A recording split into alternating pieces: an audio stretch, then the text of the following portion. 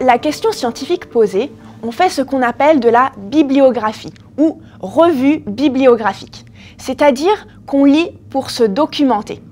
Le but est d'avoir une vision globale de tout ce qui a été fait sur ce sujet jusqu'à présent. Que sait-on? Que reste-t-il encore à comprendre?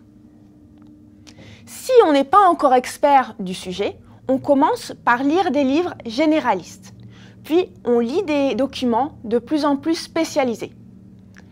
Dans la recherche scientifique, les documents les plus spécialisés sont les articles scientifiques. Ce sont des articles publiés dans des revues spécialisées, généralement très chers, mais auxquels on a accès dans les centres de recherche, et qui rapportent les recherches d'un groupe de chercheurs. Toutes les publications se font en anglais. Pendant cette phase d'état de l'art, les chercheurs utilisent beaucoup Internet notamment Google Scholar, qui est un moteur de recherche spécialisé dans les articles scientifiques. Il faut cependant être prudent avant de se lancer à l'aveugle dans une recherche sur Internet. On risquerait de passer à côté de l'essentiel ou de considérer comme consensuels des points de vue en fait anecdotiques. On privilégie donc des discussions directes avec les experts du sujet. Par exemple, on peut échanger avec un autre chercheur du laboratoire ou participer à des conférences. Cela permet d'avoir une vue d'ensemble de manière rapide. Cela permet aussi d'avoir le point de vue personnel des chercheurs qui n'est pas toujours explicité dans les articles. En plus d'acquérir une vision globale de ce qu'on sait sur la question et de ce qui reste à comprendre, Évaluer l'état de l'art permet aussi d'avoir une idée des forces en présence.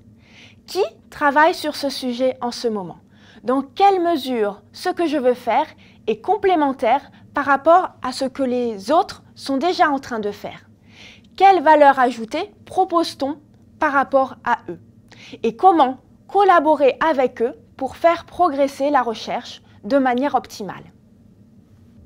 Cette étape permet aussi d'avoir un aperçu des outils disponibles pour répondre à la question. En effet, rien ne sert de réinventer la poudre quand elle existe déjà. Sur quelles données, sur quel modèle puis-je m'appuyer pour répondre à la question? Et de nouveau, avec qui puis-je collaborer pour bénéficier au maximum de ce qui existe déjà? Les sciences du climat sont un domaine extrêmement collaboratif où la communauté est bien structurée à l'échelle internationale.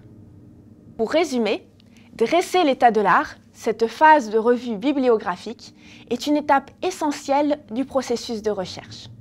En réalité, ce n'est pas une étape, mais une phase récurrente tout au long du processus, avec des allers-retours nombreux avec les autres étapes. Par exemple, en se documentant sur ce qui reste à comprendre, on affine la question scientifique. En évaluant les outils disponibles, on réfléchit déjà au protocole de recherche. Et on se replonge dans nos articles pour mieux interpréter nos résultats et les comparer à ceux des études précédentes. En résumé, cette phase permet de savoir ce que l'on sait déjà et ce qui reste à comprendre.